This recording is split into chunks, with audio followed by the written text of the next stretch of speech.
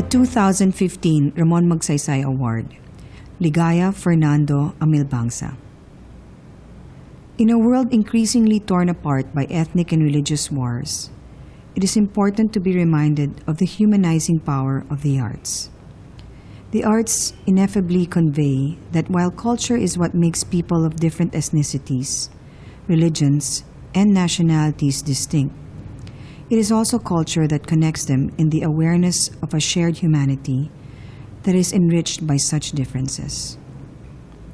This truth lies at the heart of the life work of Ligaya Fernando Amilbangsa. Born to a Catholic family in Marikina, Metro Manila, Fernando Amilbangsa had always loved dance and the arts.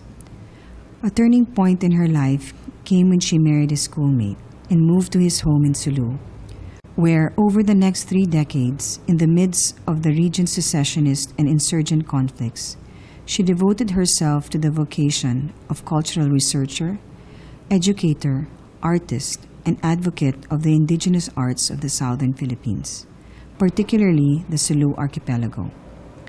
Her signature involvement has been the study, conservation, practice, and promotion of the dance called Pangalay a pre-Islamic dance tradition among the Samal, Bajau, Jamamapun, and Tausog of Sulu and Tawi-Tawi.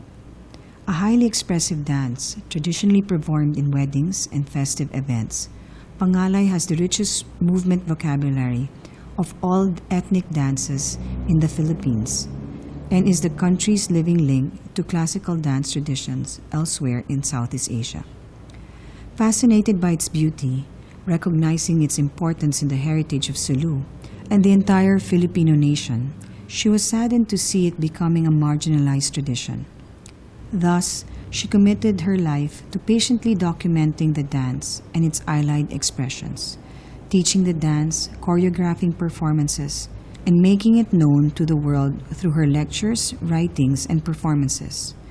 Using her personal resources, she inspired the formation of dance groups networked with dance scholars and practitioners in Asia, and presented Pangalay choreographies in and outside the country. Moving back to Metro Manila in 1999, she founded Alun Alun Dance Circle to teach and perform Pangalay and other dance forms. The group has since done hundreds of performances and workshops throughout the country.